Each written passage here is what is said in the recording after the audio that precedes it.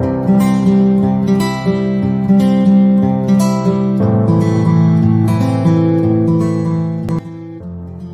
उपयोग डिप्रेशन चिंता, विकार, मधुमेह तंत्रिका दर्द फाइब्रोमाइल्गिया न्यूरोपैथिक दर्द और तनाव मूत्र असंयम के उपचार में किया जाता है।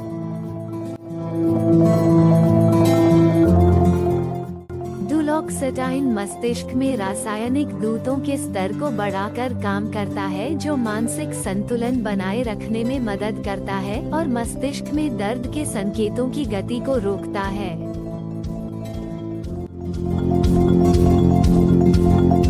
अपने डॉक्टर द्वारा सलाह के अनुसार इस दवा को खुराक और अवधि में लें।